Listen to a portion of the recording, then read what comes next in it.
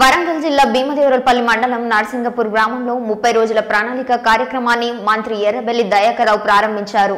గ్రామాభివృద్ధికి గ్రామ ప్రజల భాగస్వామ్యం తప్పనిసరిగా ఉండాలని పంచాయతీరాజ్ శాఖ మంత్రి ఎర్రబెల్లి దయాకర్రావు పిలుపునిచ్చారు.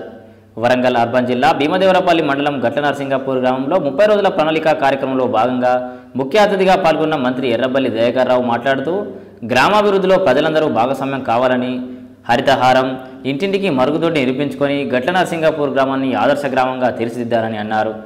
ఈ కార్యక్రమంలో ఎమ్మెల్యే సతీష్ కుమార్ ఎంపీ బండా ప్రకాష్ పంచాయతీరాజ్ శాఖ కమిషనర్ రఘునందన్ రావు వివిధ శాఖల అధికారులు ప్రజాప్రతినిధులు పాల్గొన్నారు. డెవలప్ కాదు ఇచ్చేటోళ్ళు ఉన్నా కానీ చేసి తినేటోళ్ళు ఉండాలి కాబట్టి అందరూ దయచేసి కలిసికట్టుగా పనిచేసి మరి అవకాశానికి ఇచ్చిన డెవలప్ కాదు ఇచ్చేటోళ్ళు ఉన్నా కానీ చేసి తినేటోళ్ళు ఉండాలి కాబట్టి అందరూ దయచేసి కలిసికట్టుగా పనిచేసి మరి అవకాశానికి ఇచ్చిన ఆరు చెట్లల్లో ఒక కళ్యాణ చెట్టు కంపల్సరీ ఇంట్లో ఉండాలి.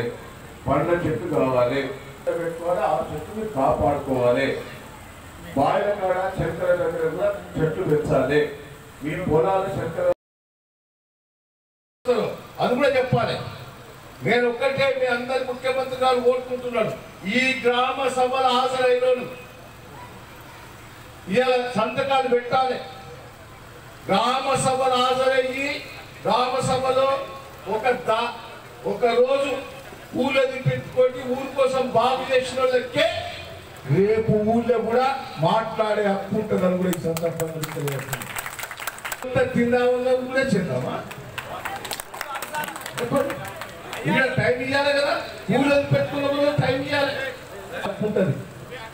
శ్రమదానం చేయకుండా కొట్టుకొని తిరుగుతా అంటే మాట్లాడే హక్కు కూడా ఉండదు. నేను మహిళా గ్రూపులను యువకులందరూ కూడా చైతన్యం కావాలి. యువకులు ముందరబడి పనిచేయించాలి మహిళలు పనిచేయించాలి ఈ దీని కమిటీలో కూడా యువకులు మహిళలు ఎక్కువ ఉండాలి. నేను మిమ్మల్ని అందరినీ రిక్వెస్ట్ చేస్తున్నా మన ఊరు బాబు కోసం ఎవరో ఊరి కోసం చేస్తారు? ఇలా భాస్కరరావు గారికి ఏం తెలుసు ఆయన కొడుకు అమెరికా ఉన్నాడు బిడ్డ అమెరికా ఉన్నాడు. ఆయనకి ఊరికి రాకుండా ఏ నడవదు ఏ అవసరం లేదు. అయినా నేను ఊళ్ళో ఉంటాను ఊళ్ళో పెరిగాను. ఈ ఊరికి ఎంతో కొంత సేవ చేయాలనే ఉన్న మాటలు ఎవరైనా ఒక మాట అంటే ఆయన ఆయననే ఉంచుకున్నట్టయితుంది అవుతుంది అవుతుంది అది తప్పదు. నేనేం చేయాలి సభకు విచ్చేసిన దయాకరణకు నా ఉదయపూర్వక ధన్యవాదాలు తెలుపుతున్నాను. ప్రప్రదంగా మా నియోజకవర్గానికి వచ్చినందుకు. మరి ఇక్కడి నుంచి వెళ్ళి బ్రహ్మాండంగా ముప్పై రోజుల కార్యక్రమం గౌరవ ముఖ్యమంత్రి కేసీఆర్ గారు ఏదో తలవర్షం తెలిస్తే పర్సెంట్ అన్ని గ్రామాలు కూడా పారిశుద్ధ్యంగా ఉండాలని చెప్పి స్వచ్ఛతను పెంచాలని చెప్పి మరి ఎటువంటి ఇబ్బంది లేకుండా అన్ని కార్యక్రమాల్లో ముందుకు సాగి ఒక బంగారు తెలంగాణ దిశగా బంగారు గ్రామం దిశగా వెళ్ళాలని చెప్పి సూచించారు ఆ ప్రకారంగా హండ్రెడ్ పర్సెంట్ హుస్నాబాద్ నియోజకవర్గం నేను ముందుండి చేస్తానని చెప్పి మరి మంత్రి గారికి నేను హామీ ఇస్తున్నాను. ఎందుకంటే మా గ్రామంలో కూడా ఇవాళ ఏ గ్రామ సర్పంచ్ తీసుకున్నా కానీ ఎంపీటీసీ తీసుకున్నా ఎంపీపీ తీసుకున్నా కానీ ప్రతి ఒక్కరు కూడా మంచిగా ఎడ్యుకేటెడ్ పర్సన్స్ చాలా మంది మా నియోజకవర్గం నుంచి వెళ్ళి ఎన్నుకోబడ్డారు.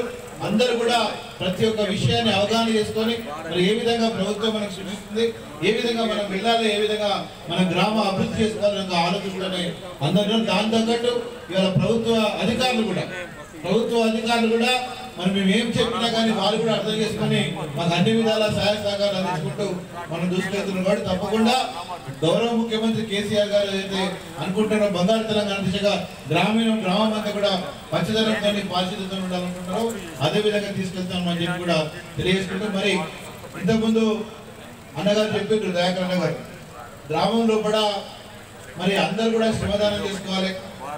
అందరూ కూడా ఎక్కడ కూడా ఎక్కడ ఎక్కడ పడితే అక్కడ చెత్త వేసుకోవద్దు.